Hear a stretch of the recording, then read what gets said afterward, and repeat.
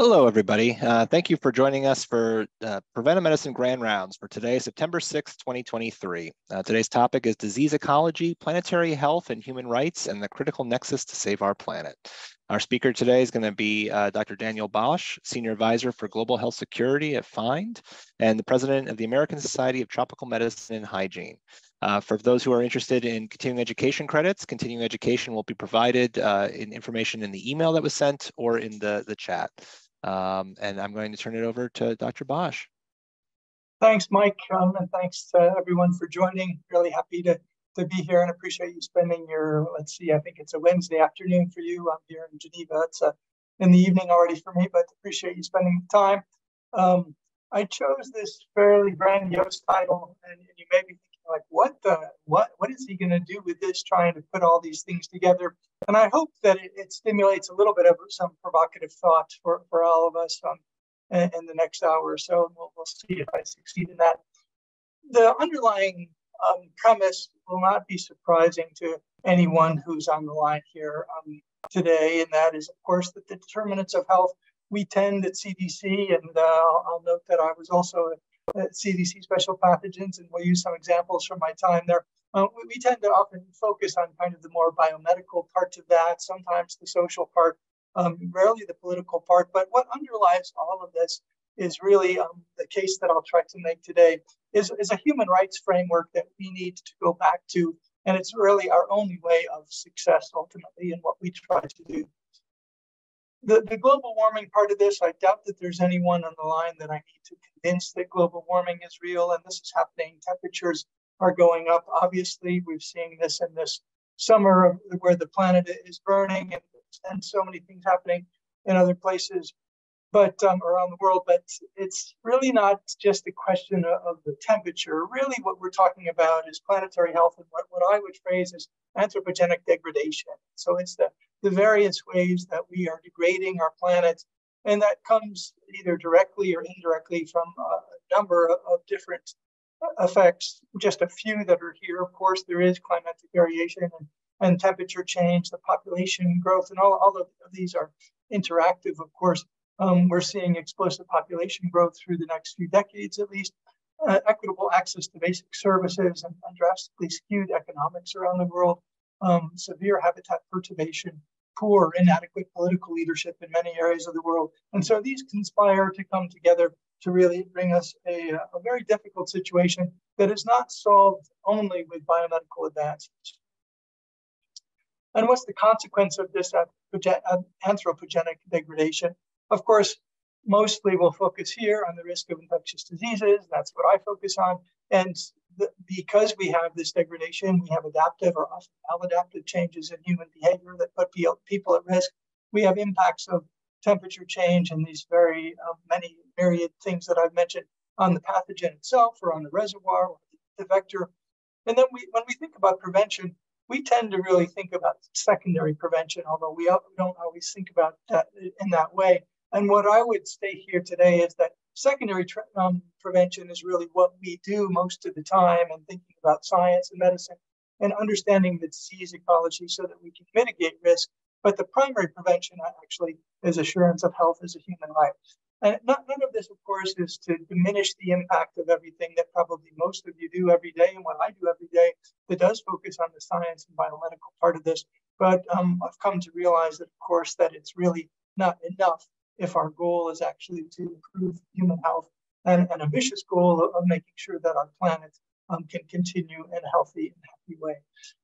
There's lots of research these days. I'm looking at the interaction of climate change and um, and different infectious diseases. This is a paper published re- relatively recently. Over half of known human pathogenic diseases can be aggravated by climate change. There are places, of course, where this increase. There are places where it will decrease. Um, we, we often talk about how a place will get warm enough so that a mosquito can now exist that didn't exist before. There are places where it will get too warm that for that mosquito to exist. So it, it's not a, um, all in one direction, but nevertheless, we are seeing that there's a, an enhancing risk as our planet um, not only gets warmer, but then we have, of course, increasing travel and some of the other impact factors that I mentioned in the previous slide. And I, and I won't go into the science of this. You can look this up. Many of you probably study this yourselves. The pathogenic diseases aggregated, sorry, aggravated by climatic hazards. And there, there's quite a few. Um, as I say, this can be from the effect on the pathogen itself and uh, its longevity, for example, in, in warmer temperatures. It can be through the changing patterns of the vectors or the reservoirs. So um, this is a very active field of study and needs to continue. But again, I'll, I'll make the case that it's not enough. Of course, what we're primarily concerned about and what I'll refer to here today are zoonoses. There's a whole nother um, a whole nother thing that's happening in terms of, of really an ongoing pandemic of AMR and uh, antimicrobial resistant bacteria. I won't touch upon that really anymore, but we'll we'll talk about zoonoses, and it's you don't have to be a scientist to understand that as temperatures change, as we build a road, this photo through the Peruvian Amazon, as we change these habitats or go into caves or mines and get in contact with different animals such as bats, that of course risk is going to change. And consequently, if we look, um, this is just an example of this, fairly obvious, but if we look at the major um, and major infectious disease events that have happened so far in our relatively brief century, they have all been zoonotic um, pathogens. And so we had the SARS-CoV-1 virus in 2003. Some of you remembered uh, that. I was still at CDC at that time, spent a lot of time in, in Vietnam. Um, we used to think of that as sort of a, a, big event. It was a very big event economically. It was not a big event. Considered a drop in the ocean now of 800, uh, 8,421 cases. The H1N1 influenza A virus, of course, um, with various components derived from swine and birds as well as humans. And then Ebola virus, which, as far as we know, this has not really been um, clearly elucidated, but probably has a bat as its reservoir and then um, SARS-CoV-2, for which we also expect the bat. So um, the, these are uh, obviously zoonoses are what we're most concerned about in the field of pandemics, but it's not only pandemics and epidemics. If we look at the vaccine preventable disease outbreaks that have happened, um, this is up till the, through 2000, 2008 to 2014, you know, these these are also happening, and there's of course no reason for these to happen. We've already solved most of this scientifically. We have the product, we just are not getting the product to the right people for various reasons. And so this is not an issue um, primarily of science; it's an issue of many other uh, components that are socio-political. And again, I, I would submit that the the the lack of ensuring health as a human right is one of the primary um, reasons for this. It's also clear that when we look at epidemics and pandemics, this is a modeling perspective, but there are other studies as well that um, it's not it's not evenly distributed. Risk is not evenly distributed across the population. There's both cumulative infection, both cumulative infection rates and current infection rates are systemically higher for the poor. Um, and then a key point for this um, is that improving the inequity is not only better for the poor, but it's also better for the non-poor. And so even if someone wanted to take a, if you will, a completely selfish approach to infectious diseases and say, why should I care of what's happening somewhere else in the world? Um, actually, your safest thing for you, even if you're most concerned and your only concern is you and your family, actually, you do have a reason to be concerned, even if it's not an ethical one or caring for another person. I'd like to run through a few examples in the field that I worked in for quite a, a long time now, viral hemorrhagic fevers in different contexts. And um, uh, as, I, as I mentioned, was there with you at CDC, and many of you from CDC on the line today, I think, and uh, working in viral special pathogens and outbreaks and, and, research in this field. And want to take you back to um, an outbreak that happened while I was at CDC and that we deployed with a number of people from CDC and, and other institutions and organizations, and um, Bob Swanepoel in South Africa, and uh, NCID, and then a number of people from WHO. And this was an outbreak of Marburg virus disease that happened in kind of the twin towns of Durba and Watsa in the north, um, let's see, northeastern part of the Democratic Republic of the Congo, a little bit further north um, than the, the big outbreak, or relatively big outbreak of Ebola that happened um, with the epicenter of North Kivu province in um, DRC a few years back. This was a very, very remote area. You can see um, this is a, a photo. Um, if you speak French, you, you see the sign Centre de Santé de, de Référence. So this was the reference center, Centre de Nom de Durba, so the isolation, isolation center for care for patients with Durba at that time. You can get an idea from just looking at that it was not a particularly developed place. This was also, I should say, in an era really before um, groups like MSF and ALIMA came in to provide uh, care for patients with viral hemorrhagic fevers.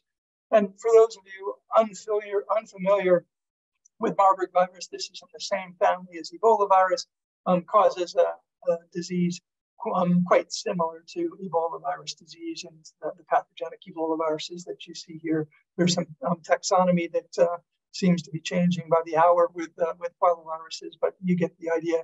And, and this is a, a, virus that's still around. We very recently had a, not a large, fortunately, but an outbreak of Marburg virus disease in Equatorial Guinea just a few months back.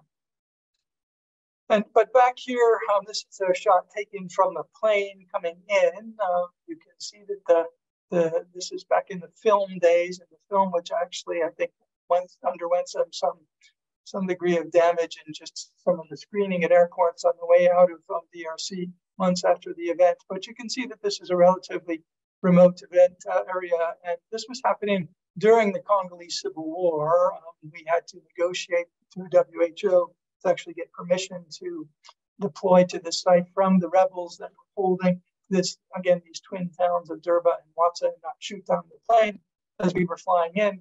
And the event that was happening was really centered um, from the investigation that, uh, well, the early information that we had, and then the investigation that subsequently took place, centered around a gold mine. And so um, gold miners were going into these uh, this setting, young men coming out and getting sick um, once in a while, and, and, and often dying, and then once in a while spreading disease to family members. There was a physician who was seeing this again in this very remote area um, and put in a request for support from the Congolese Ministry of Health. Um, recognize that that's thousands of kilometers away, the other side of the country um, during a, a, civil war, and they're in the region held by the rebels, and Kinshasa, where the capital is, held by the government.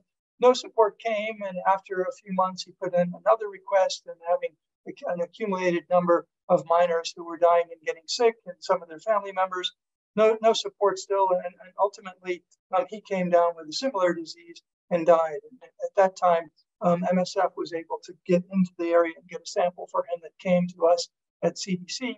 And we were able to confirm this was my Marburg virus disease and then participate in the, uh, the response. And this is what you see inside of uh, the, mines. This was a mine that was started in the era of the Belgian Congo and then became independent with um, DRC's independence, you know, then formerly Zaire, um, was held for a while uh, by different international companies. And then with the Civil War, they abandoned it. And so all the formal mining went away. People were just basically strapping flashlights around their heads, young men, and going in and chipping out what they could. They were not happy. Um, the people who controlled this area were the Congolese rebel forces in conjunction with the Ugandan military, and they were not happy about some people messing with the mine. So these were the guys who stood outside the mine, basically, and the, the Congolese um, basically had to pay their share, and so they would go in and, but um, they would get taxed basically in gold um, uh, from being able to, to work there. We were not able to enter the mine other than the one photo I took here.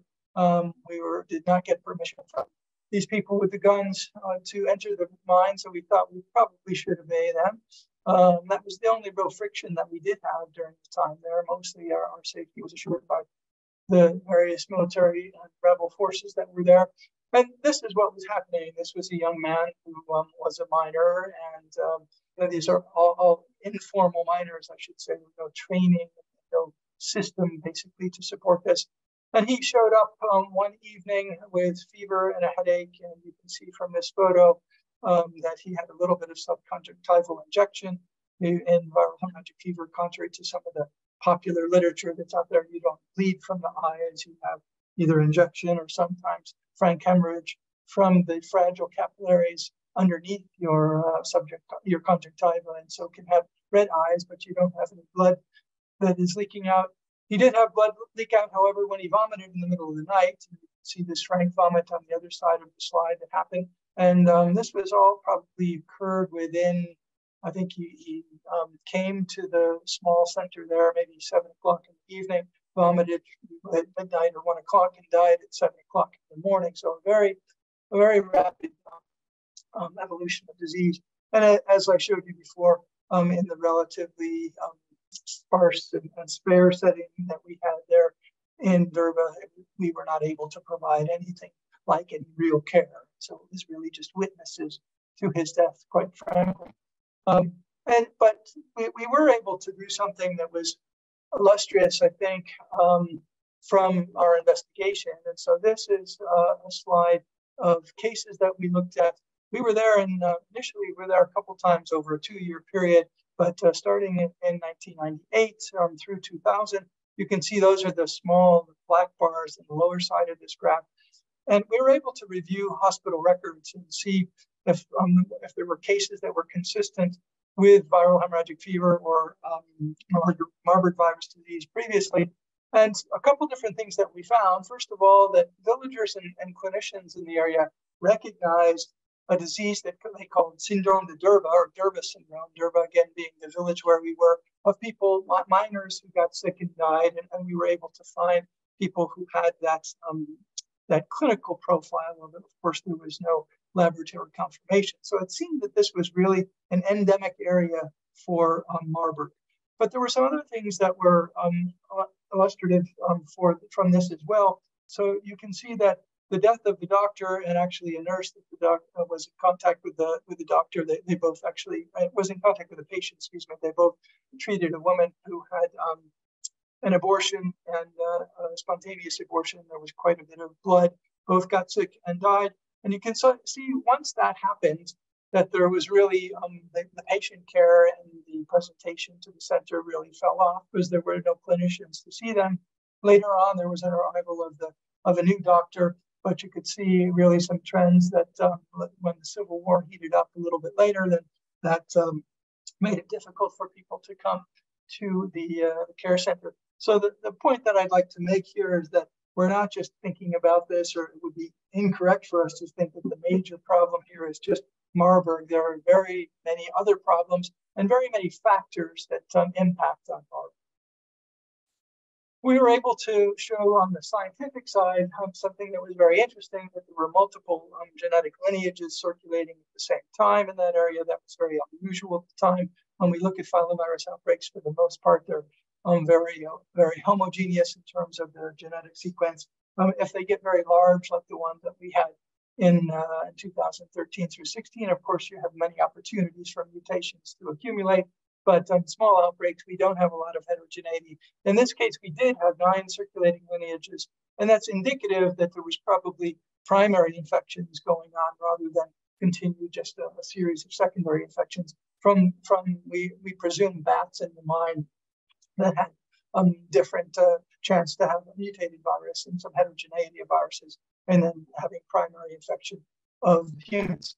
And interestingly, um, the mine, which again had no no real control in any organized way, no company looking after it, no no educated people who were um, looking after this that usually pump out the, the groundwater. And so that was not happening. And by the end of 2000, um, the whole area had flooded and there were no more cases of Marburg virus disease after that time. And so, really indicative that the mine was the source.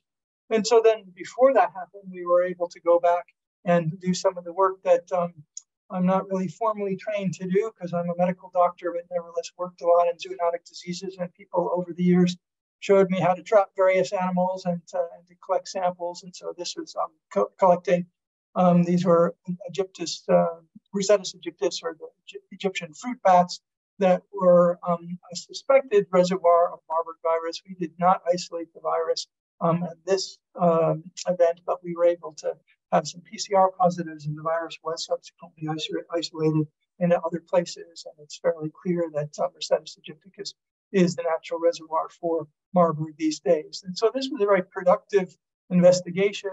But um, know, so what was the cause of this outbreak? Well, of course, Marburg virus, but you know, where did Marburg virus come? Well, it came from the bats, and so that was the, the cause. But why were the, was there exposure to the bats? That was entrance into the mine. But why did people enter into the mine? Well, that was because they had no choice of economic hardship. There was nothing else, no other way to make money. And, and why was that? Well, that was the, the Civil War. And where did the Civil War come?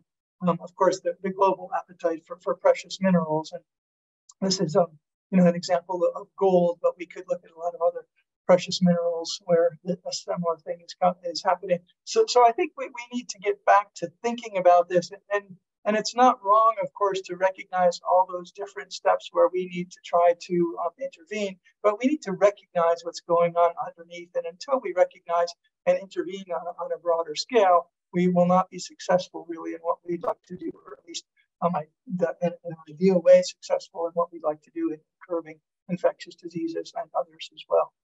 And so, uh, similar question, parallel questions. Um, what, what's the prevention of this outbreak and this disease? Well, prevent access to the mine, but how do you do that when people don't have any other any other way to make money? Well, you could try to protect against bats when entering the mine, and, and then provide better care to sick, sick, sick persons. But we come back to needing to stop the Civil War, and we come back to the Civil War's um, fueled by that appetite for, for precious minerals. And so again, it gets to be a, a much larger question uh, that we have to um, address or think about at least as we interact in these settings. And and it's a very similar thing. I won't. Uh, I, I, chose an example of Marburg. I could choose quite a quite a few different diseases, Ebola in, in various settings, and Lassa and hantaviruses, and quite a few other things. But um, so this human rights underpinning, I think, is something that is really there if you want to uh, really delve into this, um, the late Paul Farmer wrote a really good book about the, kind of that allowed Ebola to, to um, basically take off in Sierra Leone um, a few years back, Fevers, Foods, and Diamonds. I would encourage you to, to check that out. I, I won't go into um, a long description, but uh, I thought I would just mention Lassa fever. You know, so we could make some similar things, some similar parallels. This was this is a disease that we see more in endemic form, um, spread by a type and maintained by a type of rodent. We do know that in general, the reservoir for this disease, um, a, a, rodent called Mastomys natalensis that we find across West Africa, also called the, the multi-mammate rat, which you can tell, um, see the reason why from the underside of this female animal in, in Sierra Leone. And um, again, you know, something associated with a different type of mining in Sierra Leone, and, and this was diamond mining that fueled um, a lot of other, of fever outbreaks, but of course fueled a very severe civil war. And I spent a lot of time um, in Sierra Leone and Liberia during this time, but much much of it with the United Nations forces that were, um, of course, there to try to keep the peace, but also on occasion getting themselves um, of fever. And then uh, just a quick example of hantaviruses. Um, this is also a rodent-borne virus. Um, uh, I won't go through all the details, but this is uh, this was an investigation of an outbreak in um, Bolivia in um, probably 2003, I want to say, and sugarcane workers, uh, migrant workers who were coming from the highlands from the Paz and, and coming into the, the lowland, what was um, Amazon forest. You can see in this photo really. So what in, in the foreground with the tarps are their transient houses um, where they just stay to uh, cut sugar cane. They'll stay in those those tarps and tents basically for a few days until they have to move on to other places to cut more sugar cane and just massive, massive fields of monoculture. In the background, you can see on the border where there's still some forest in the Amazon. And so these um, these workers in the sugarcane camp um, who were, of course, this is really backbreaking work, um, all done with machetes. There's no machinery here. And um, lots of food around. The, the rodents are also like the, the vestiges of the sugar cane that's harvested. And um, so a lot of rodent interactions. And we were able to um, define some of the ecology, basically, of different hantaviruses that circulate in these settings. And so it doesn't take, um, I think you can get the, the message fairly easily, even if you don't work in this field, that it doesn't take too many outbreak responses of viral hemorrhagic fevers to understand that sure, this virus is important, but um, there's a lot of other things going on that are allowing this virus to, to circulate, and we ultimately need to address those. And so we get into issues of equality and equity, and, I'll turn now to, to thinking more about that. But um, 85% of the world's population live in low and middle income countries, and significant poor and marginalized populations are in high income income uh, countries as well. And so we have very significant um, equity issues, even though we have some great tools lately. And so uh, we have vaccines, but we this is uh, I was fortunate to get um, the the Merck Ebola vaccine during the Ebola outbreak in, in, uh, in the Congo a few years ago. And um, so we have some, some great tools that are coming out for these sorts of problems and these sorts of emerging viruses, but nevertheless, it doesn't seem like we have any dearth of emerging viruses or necessarily gaining rapid control. And so, um, even though we have the tools, um, we have a lot of challenges. And, and I'll, I'll come to, I, you know, I, I, presently work at FIND. Many of you may be unfamiliar with FIND. FIND works in, in diagnostic development um, for a lot of different things. I work in uh, for pandemic threats. FIND works from the beginning to the end, if you will, so early phase concept stages of sort of diagnostics and working with industry partners, but then through with partners in the field basically to get those products into the right places in the right hands at the right time. And um, one of the things that has come out through the work of the, of the Lancet Commission a few years ago now, maybe a year ago, um, is that the, the unaddressed diagnostic gaps are massive. So 50% of patients do not get diagnosed. And, and so you can see there uh, just some examples for TB, HIV, hepatitis C. So um, the reality is that uh, half the people in the world who are sick and dying don't know what they're sick and dying of. Sometimes there are technical issues there and that we just don't have the right test, but often we actually do have the right test. And, and as I pointed out earlier, we have quite a few outbreaks of vaccine preventable illnesses. We have quite a few people who are sick and dying of um, of syndromes that we know what they are and we know how to diagnose them and may know how to treat them or even prevent them, but nevertheless, the right tools are not getting to the right places. So again, it's not all about the science. And this just is an example of most of the examples that we've thought about and have been in the news over the last few years have been COVAX and ability of, of COVID vaccines. Obviously, a huge inequity there. But um, the same thing happened in diagnostics. Basically, you can see here the, the red line of increasing um, increasing diagnostics available to people in high income countries, but really staying extremely low throughout in, uh, in low income countries. So while many of us were thinking about how can we get a vaccine and how can we get a therapeutic if we may have uh, COVID, um, most people or many people in low and middle income countries were thinking, how can I even get a test? Uh, I do want to mention um, a key underlying point for all this, and that is access to care. And so, for all elements that we might think about for pandemic threats, knowing what's going on and what the next pandemic might be, or even um, or for more uh, endemic diseases that we're familiar with, it doesn't matter what therapeutic we have, what vaccine we have, what diagnostic we have. The person doesn't have access to care. Huge inequities across the world um, with access to care that we need to be cognizant of and advocate for.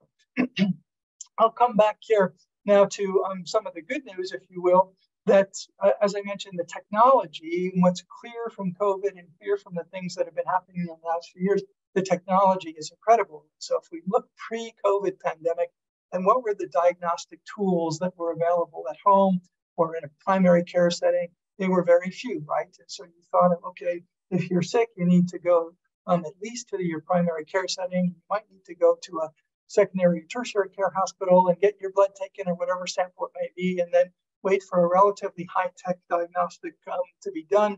And that might take a few days.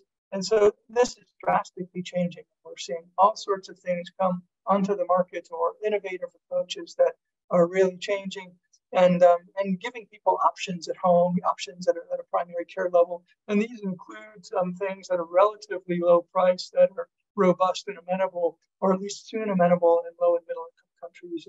So, for example, multiplex diagnostics, respiratory panels for a few dollars that will be seven or eight plex and get uh, diagnostic for for seven or eight different viruses. And so this is um, you know really quite quite optimistic about where this is going. And then there's all the newer stuff, right? Who knows what this will bring, but artificial intelligence, machine learning, and, and wearables and mobile devices and CRISPR technology. And so the, the technology has been and continues, and I think will continue to be incredible in our world. But we come back to this. And so this is the, the, the fundamental challenge that we have we have this great technology, but can we assure people's rights to health and use the technology in a productive way? This is Article 25 of the Universal Declaration of Human Rights that um, was passed um, by the UN General Assembly in 1948. Everyone has the rights to a standard of living adequate for the health and well being of himself and his family, including food, clothing, housing, and medical care and necessary social services. Admittedly, a very high bar. I don't think any of us would say that uh, all these rights are assured. And there are many questions, of course, of, uh, of who assures them and how that happens. We can get into that in the discussion. And so to, to conclude, um, I don't have the time there in front of me actually, so I think we're, we're okay with time. But in, in conclusion, so modern times have brought unparalleled scientific progress, which holds a promise for, for uh, a safe planet for everyone. However, the climate change and anthropogenic, uh, anthropogenic degradation and, and infectious diseases still can um, continue to threaten us and disproportionately affect the tourist, poorest populations.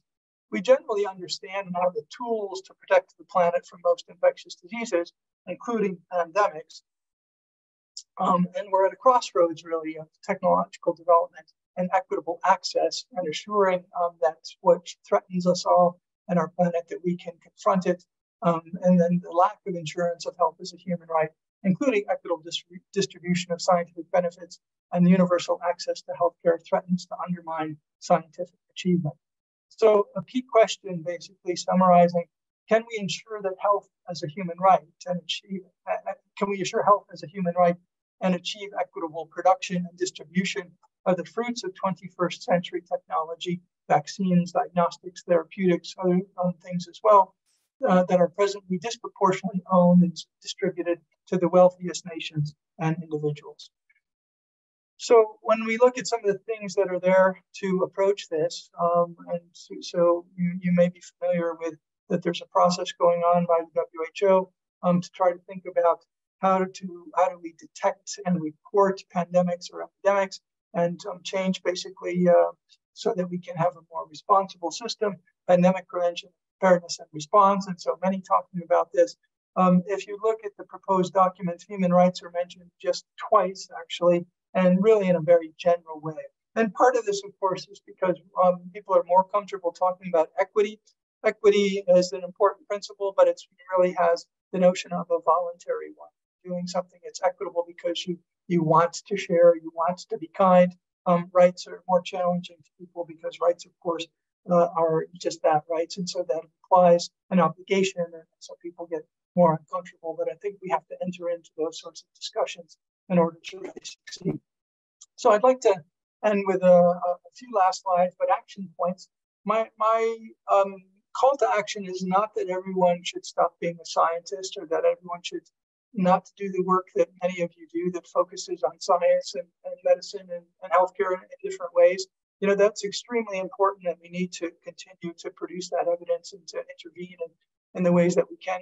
So it, it's not really that um, everyone needs to stop and, and, go get a job with Amnesty International. It's great if you do, but uh, it's not what I do either. Um, but nevertheless, um, a, a, filter, using a filter and be cognizant of human rights uh, and, and, all you do, I think is extremely helpful to me. And, and I, something that I try to teach to all the the medical students and PhD and other graduate students that I work with and, um, instill in them because I think it's the, the right way to think about this. Um, number two, be a witness and share your testimony. And so, even though we are in an era where um, there's a lot of questions about the scientific process and a lot of, um, you know, the infodemic where we have people who don't believe science and don't want to believe science, but nevertheless, we're still in a situation in most areas of the world where you, as a scientist, are a respected voice. And so sharing your, your news, your data, and being an advocate um, for not only your science, but an advocate for human rights and the underlying problems is an extremely important element of what you do and can do. Advocating for universal health coverage and access to health services always needs to be done because not, nothing really makes any sense if we don't do it thinking about the entire value chain and being proactive on social and political determinants as well as the scientific ones. This is really kind of a repetition, I, suppose. But what I mean about thinking of the, the value chain is that if our goal is actually to improve health of an individual or a population, there are many different points in that value chain. None of us can work at all those points. So people do the basic science works that's necessary to produce vaccine candidates and then clinical trials to test vaccine candidates and then implementation and working with Gavi and, and others to, to um, procure and implement vaccines as an example. Um, so none of us can really work on everything, but understanding and uh, thinking about that value chain the whole way through, I think can help us to um, advocate in, a, in an appropriate way. And then, as I mentioned, voting and being an advocate for human rights that is not some odd thing or not something that's anti-science or or you either choose science or human rights. I think that's uh, important for all of us to to um, engage in. And I, I, won't go through all of this, but um, this is just Eleanor Roosevelt, so FDR's wife was was one of the champions of human rights and, and really pushed through the Universal Declaration of Human Rights after World War um, II, a very forceful woman and one interesting to read about. And and this is basically, she, she talked about, uh, again, I won't read the whole thing, but where, after all, do, do universal human rights begin? And the point that she makes here is that they begin on a very individual basis. And, and so it's, it's not um, thinking that uh, you have to necessarily be tapped into huge networks. It's great if you are, if you choose to be, but thinking about this on an individual basis is extremely important. And I, and I, I always um, took comfort in something that Paul Farmer would talk about in fighting the good fight. And, and so, um, which means to me at least that you don't necessarily always win, and you may even not believe you can win, but nevertheless being kind of on the right side of the fight. And, and I think being on the right side of promoting health and human rights is, is where we want and need to be. Um, I will then end with a very shameless plug of uh, the American Society of Tropical Medicine and Hygiene, which I'm privileged to be the president of this year. Um, I would encourage you if you're interested in not only, of course, issues in health and human rights, but all the different things that people work on in the field of, of tropical medicine and global health um, on the pathogen base of malaria and dengue and, and Ebola and everything else, but also on the programmatic side and, and the financial side and everything. Um, I encourage you to look us up and, and to join us, um, both as a member, but also at our annual meeting coming up in Chicago in a few months. And so I look forward to seeing you there. John Nkengasong um, who's the founding director of Africa CDC and now the PEPFAR head and uh, global ambassador, will be our keynote speaker, a very moving and, and fascinating guy. And so thanks very much for um, listening. And uh, I think we will go now to um, the, the, questions here that I'm seeing in the, uh, the question and answer. I will do my best. The first question, um, while it's clear our technological capacity is expanding to better respond to crises, how do we ensure the delivery of those capacities to the communities that need it most? We often face a space age technology, stone age delivery. I love that. Um, can I use that issue when it comes to supporting health systems? So I think that that's that's well said, and there is no easy answer. But the the what I will say is um, the answer most often lies in the community. And when I look, for example, again, um, in my field of viral hemorrhagic fevers, you know, we have been bad at least over the years. We're getting better at recognizing that. And so when we see what really matters and what the answers are and implementation, that Stone Age, or, or sorry, that, that space age technology, you know, we come in and say this is what has to be used in a particular way.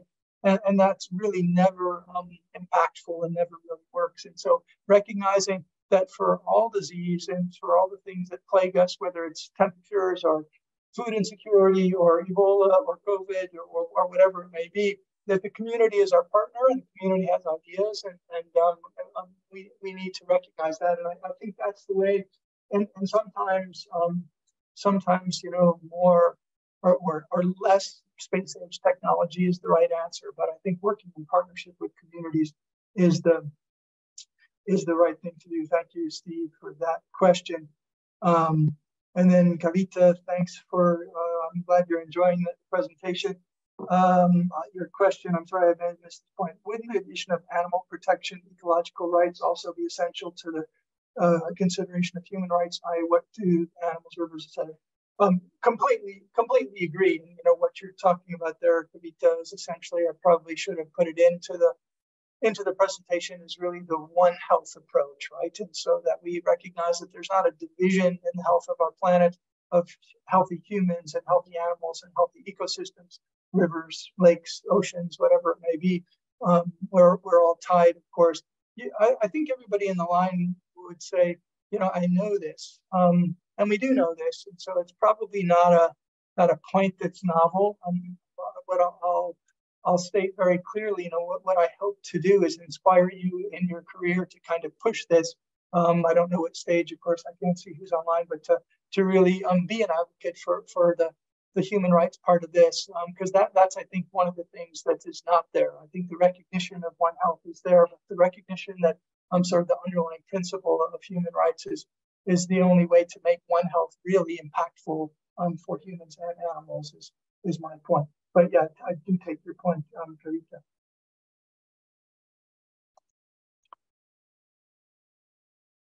Feel free to um, put in more questions.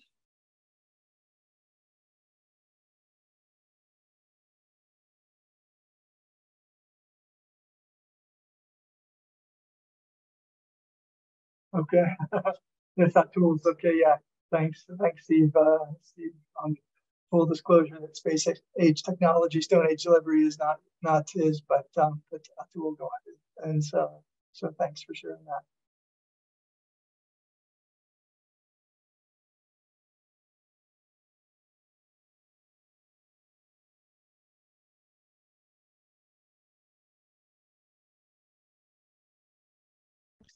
Is just a reminder to all uh, people in the audience to put any questions you have into the Q&A box. Um, Dr. Bausch will be able to answer them.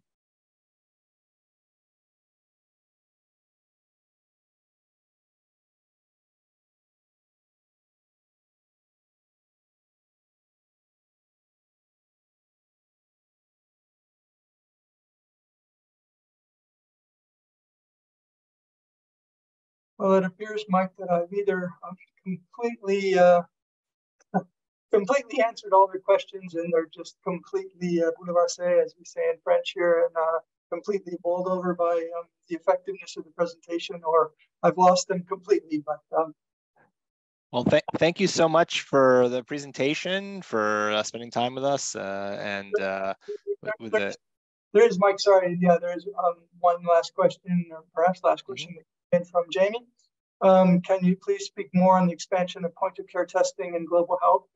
Sure, I'm happy to, Jamie. So there, there's a lot of amazing things that are coming out, and, and you know, so we have an opportunity, and maybe, Mike, I don't have the time in front of me with these different screens showing things, but I think we're okay on time, are we not? You have plenty of time. You have about 45 minutes. Yeah. Okay. Yeah.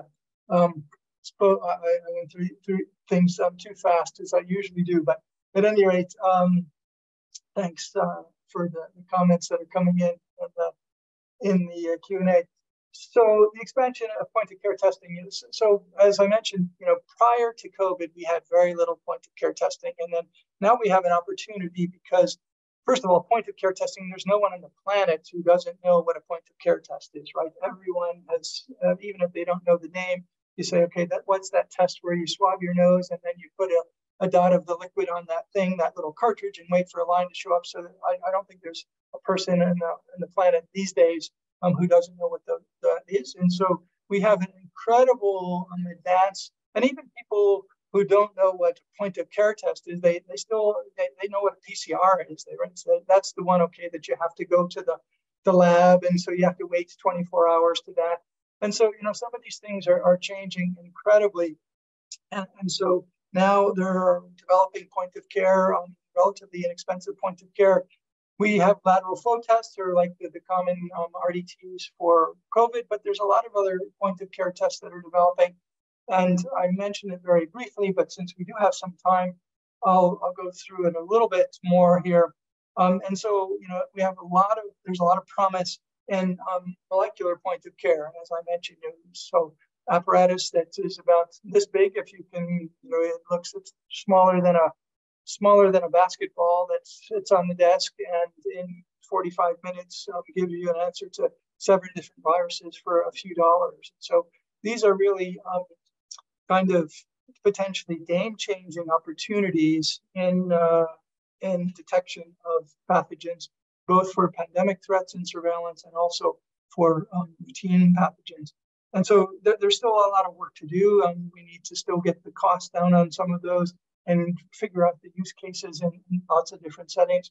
But where I think is the real value of this is so it's not um, it's not even really for, for me about pandemic threats, even though that's the, the field that I work in.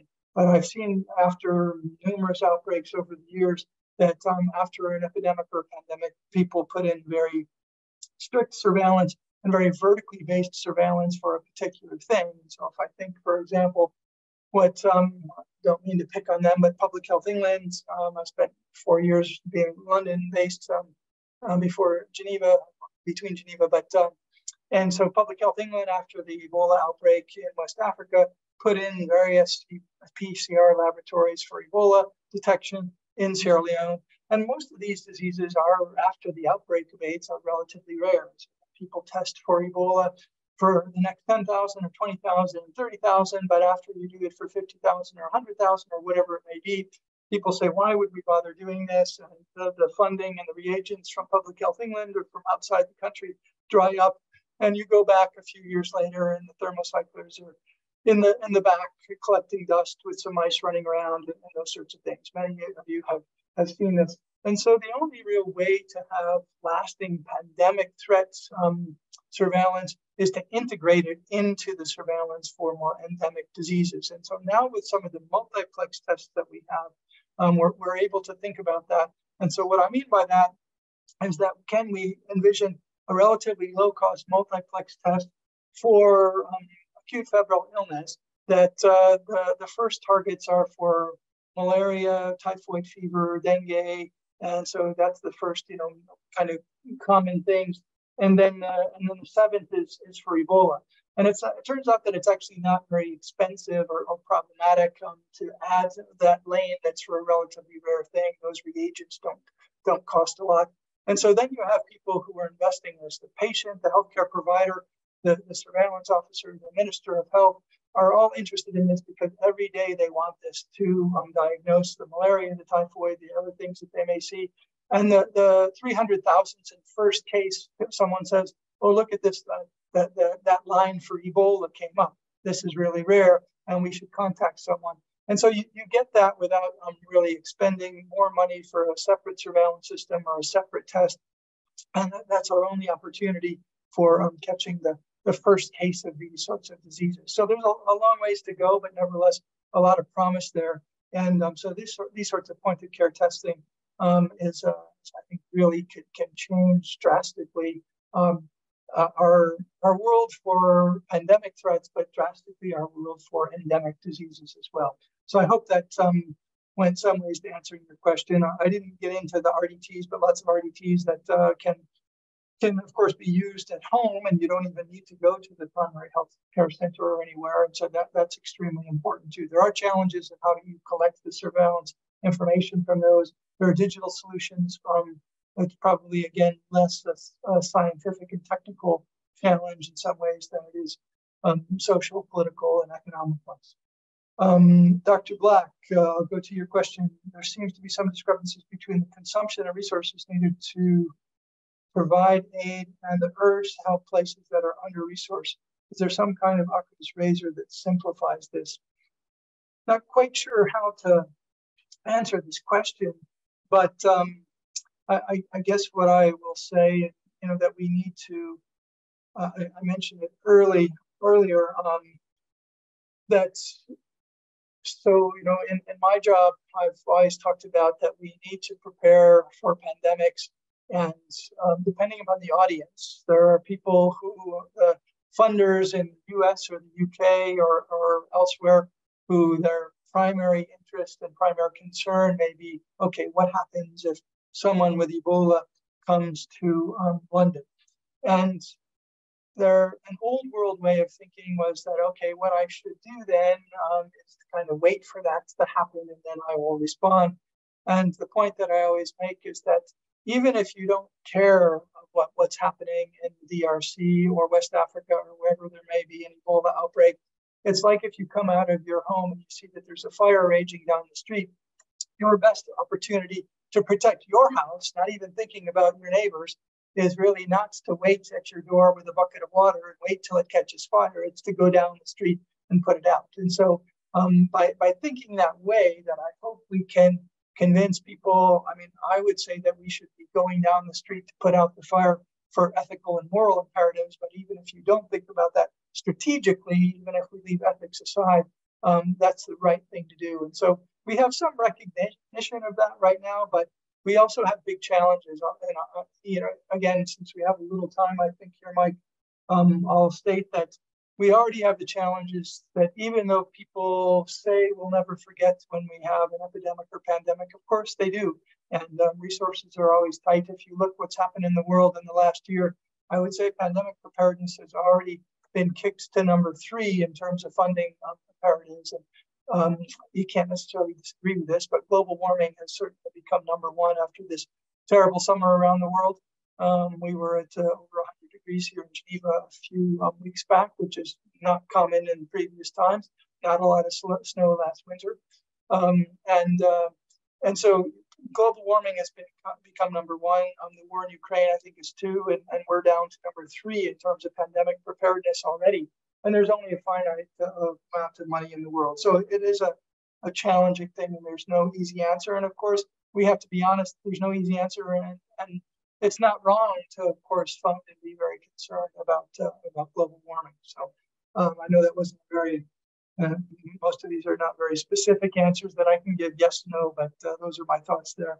Um, I'll go on to the, the next uh, question here. What advice would you have for early career professionals that are interested in One Health topics, especially the intersection of climate change and the rise of infectious diseases?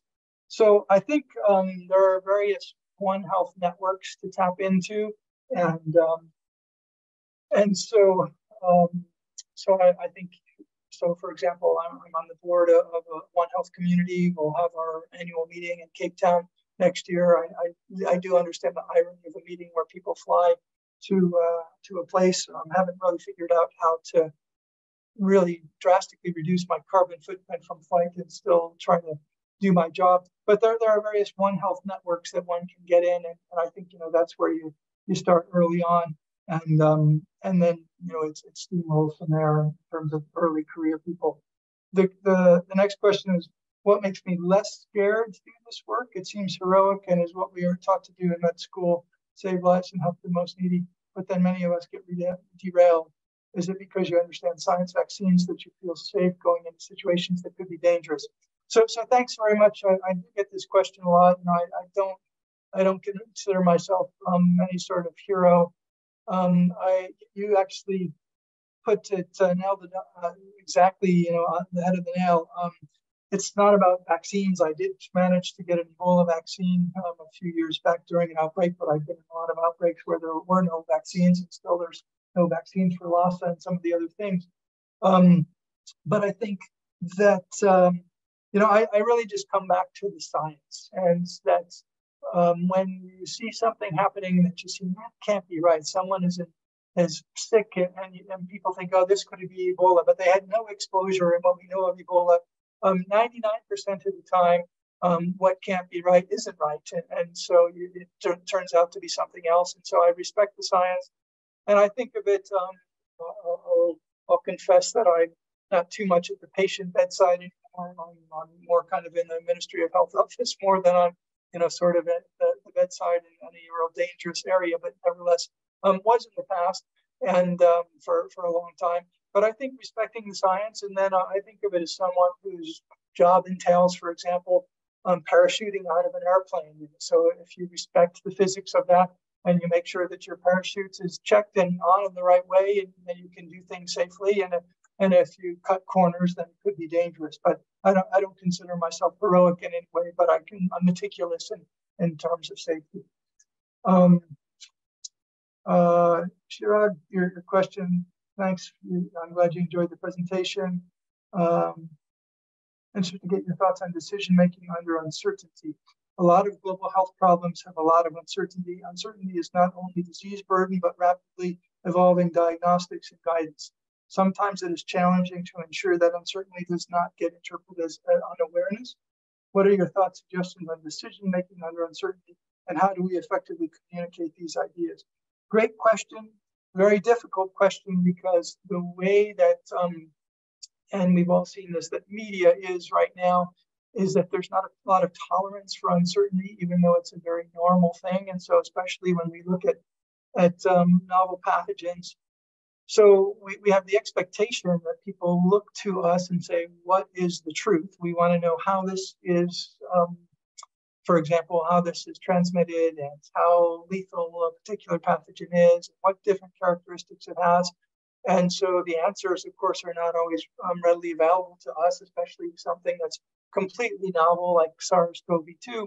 And, and so you have to you have to work in a field with uncertainty, but you have to work with people who will, if you say we have no evidence that it was um, transmitted person to person, if that's if there's data that comes out three days from now that shows that it was, even though there was no evidence before, people will often be quite harsh with you and say, "Here's what's you know wrong. You're you're you're wrong because you said it wasn't, and now it is." And so it's it's difficult to act in the in the area of uncertainty because we have such pressure basically to be right, and, and there's it's not very forgiving for um, and uh, as I say, it's not even wrong. It's just uh, expressing the best science and, and, data that are available at, at, a given time. I think we can't, nevertheless, be um, completely paralyzed by uncertainty. We'll never know everything, and so you have to move on with the best data that you can and the best evidence that you can, and then and then express um, honestly and, and, transparently what uh, is, is the uncertainty that we have and that we don't know you'll still get criticized, but nevertheless, um, I think it's the, the only choice you have and how to uh, how to, to try to deal with that. Um, so let's see, Kate, uh, any suggestions on experiences on trying to tackle diagnostics testing in countries where the government does not support public health labs, including funding policies, regulations, etc extremely difficult to do, of course, and it depends upon, I would say, whether the government is actively suppressive um, or just neglectful. Um, and so I've traveled and worked in a lot of countries where there's governments that have not been um, particularly supportive and sometimes been actively suppressive. What I've been impressed with is the scientists and public health workers um, can be extremely active even when the government is not. And, and so it depends really on what risk that they entail. And so many times you can have a, a president or a leader that says one thing, but people behind the scenes um, will will really work hard to make things happen. And so finding those people to try to work with them. It depends, of course. You, you know, you, you can't do that if um there if there's active suppression that puts them in danger or you in danger. So um, uh, not not an easy thing to work with. Again, I, I would always counsel people to try to go as deep into the community for um, lessons as early on as you possibly can. That's easier said than done, I recognize, but I think it is where the answers usually lie and um, where the effective mitigations lie.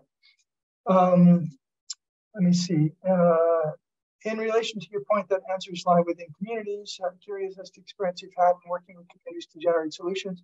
Maybe what has worked well and lessons learned from times, others that have less successful experiences.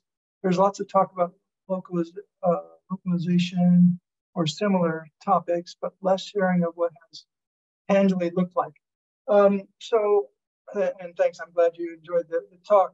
Um, I have to say, so my my background is an infectious disease worker, infectious disease doctor, and um, internal medicine and then uh, did a master's of, of public health and, and, tropical medicine. So I don't profess to be an expert um, on the community engagement. I do profess, I guess, to be an expert on the recognition that we have to have that community engagement. So the, the, the things that I work on, for example, um, we're just in the final phases of publishing some work for an Ebola vaccine trial that we did in the Democratic Republic of the Congo in the, uh, a few years ago during the outbreak then. And so I'm not the one who's interacting directly with the community in most cases. I'm interacting with social workers and social scientists who um, have the, the, the, methodologies and, and the skills to do that. Um, also worked a lot with uh, very good social scientists in, uh, when I when I lived in Peru and work in the Peruvian Amazon. So I'm probably not the person to give you the best tips, but I think um, my, my, my real tip is, is to get with um, advanced and, intelligent social scientists um, who can and, and there's now quite a quite a bit of civil um, society organizations and CSOs that can try to, to guide you. Um, not sure, I feel like I missed some questions, but nevertheless, the one that I see there. Um, in your experience, have you seen the effectiveness of community health workers in educating underserved communities about the importance of vaccines and promoting basic health related information as a preventive measure? Definitely so. And, I, and actually, I think that um, community health workers and communities are the ones that ultimately curtail outbreaks. And so, but the, they have to believe. And so, um, working with them very early on and answering frankly and transparently their questions and getting people to believe and then be a convert to the cause, um, then that can be extremely effective. But I think you have to you have to start there. If you come in and said, okay, great, you're a community health worker, here's what you have to do, um, that's probably not a formula for success. Alexia, um, what actions can one take to support health equity in the face of limited resources? I have a friend who wants to do Chagas research, but it seems incredibly unethical to do surveillance and not to be able to connect people to affordable care when there is none. Completely understand. Um, and you know, so it's a challenge for all of us. And so you're you know, one of the areas that I work in, obviously, diagnostics. And you think, okay, well, great, we we can build a diagnostic tool for a given disease and come up with a diagnostic tool for, for Lassa or whatever it may be, but we have no clear treatments for that. The one that we use, Ribavirin, and actually the data are not particularly good about efficacy. It's still trials that need to be done. So, um, but but I think we have to start somewhere. And with all this, I think you have to start somewhere. So so don't let the enormity of the task, either on the science or the human rights side, don't let that discourage you. Don't let that be something where you say, well, how much change can I make? Go back and and uh, read the, the thing from Roosevelt and, and uh, the individual and the change that and everything starting on a, a, very individual basis, which it was for her when she was the champion of, of the Universal Declaration. So um, I, I do understand. And but the other the other part of that is even for diagnostics or surveillance, that those data help us make the case, right? So one of the things for both in a public health way, but also um, if you go to the uh, the private sector, and say, okay, we need you to develop a diagnostic assay for something, people, or we need you to develop a vaccine, they'll say, well, how many people actually have this disease? And so those early data, even if we don't have um, care for them, those can be extremely important. And if, if we look, for example, at, at HIV, so the HIV pandemic, you know, and for many years we had very little to offer people and have very um, grim memories of being an infectious disease fellow everybody that I started seeing at the beginning of my fellowship was deceased before the before I finished because there were just so few tools. But nevertheless, the, that testing and that um, surveillance to make the case of the enormity of the, of the problem was a, a, very significant part of getting us to where we are now, where we have very effective therapies for HIV. They're not curative yet, of course, but they're they're quite good in terms of suppressing um, opportunistic infections and virus, and, and we, we hope to get there with a vaccine. But but I think um, that's you know one of the reasons why why I think we still need to push ahead, even if we can't have you know the complete care pathway. Um, we've checked off all the boxes. And there's one additional question from the chat um, asking for you to talk a little bit about uh, Find that you work for and uh, the goals of Find, and uh, if you could elaborate a little bit more on that. So FIND, as I mentioned, is an organization um, here in Geneva, a relatively young organization, about uh, 20 years old. Um, started mostly focused on TB in a very technical um, way with the GeneXpert system. And then, especially with COVID, blossomed into a much broader organization. And so FIND works um, on end-to-end diagnostics. And so, so, there's very technically oriented people who know how to, um, you know, who are engineers and biological engineers and uh, or others who have worked in industry who know how to make a make a test. Um, there's people who understand the, the regulatory issues that uh, are required, and, then there's people like me who don't know those things. I have worked in some degree of diagnostic development, but I'm I'm not an expert on the technical side of those things in terms of really, you know, microfluidics and those sorts of things. But then we think, okay, what was, you know, how do we put this test into the field for, for maximum impact? And then um, we've really broadened out over the last few years. I've only been at Find for for a couple of years, and, and actually um, will be moving on. Not not because I'm anti-Find in any way, but just um, next opportunities relatively soon. But um, but nevertheless, uh, you know, we're really working a lot on, on access and advocacy issues in terms of access to care, which I emphasize. So yeah, um, feel free to look us up on the. Um, you can see there's the, the website for Find it. Um, if you have any questions, feel free. You have my emails there, both for at Find and, and uh, I still carry an appointment at the, the London School of Hygiene and Tropical Medicine for where I was um, worked there for a number of years. So um, yeah, feel free to to inquire. Um, I'm seeing one more question here coming from Jamie. Do you happen to have any insight on finding ethical gems or jewelry? I'm just wondering if there's something I could do to not support civil wars and mining outbreaks. You know, it's it's really hard, Jamie, to be perfect, right? And so, um, you know, like we all we all know that um, driving a car is something that's not very good for the planet, right? And what we all recognize, I bet there's a lot of people here who drive a car. I don't drive a car here in Geneva, but that's just because um, Geneva is so good for, for public transport and I ride a bike. But um, when I lived in the US, it's been a while now since I have, but um, you know, I, I, did. So I, I, think you, I think you, um, as I mentioned before, you, you don't get um, discouraged by the enormity of the task. Uh, and uh, this is just, I guess, my philosophy on life. You know, you try to try to, of course, chip off the things that you can do better um, and that interest you and, and, fit with your life and your needs. And then, and then I, I think also um, an awareness of, that most of most of us live in kind of the the very small. Even if you don't consider yourself rich, you probably are. If you're on the line here, you're probably one of the richer people on the planet, and recognizing that, and then trying to to respond and advocate in, in the way that you can, but without being too harsh on yourself. It's it's not all about the individual. The systems, of course, are you know uh, challenge most people to try to go to the grocery store and, and, buy no plastic unless you have two days of your week um, to, to try to shop it that way. It's quite difficult to do, but you can go to the grocery store and limit your plastic. And, and so you don't, it doesn't have to be 100% good. It can be 80% good. And, and I think I'm feeling that you're you're an advocate for the right thing is at least how um, I, I, won't try to preach to all of you any more than I've already preached tonight, but um, but at least that that's kind of my philosophy of life. Great. Well, well, thank you so much. Uh, I see there's no more questions, um, but I want to thank you and thank all of our attendees uh, for an excellent presentation. Um, you can please join us again next month um, for the next Preventive Medicine Grand Rounds, which will be on uh, October 4th. Um, and uh, I thank you all for, uh, for joining us today. Thanks, Mike. Thanks, everyone. A pleasure to talk with you. Bye-bye.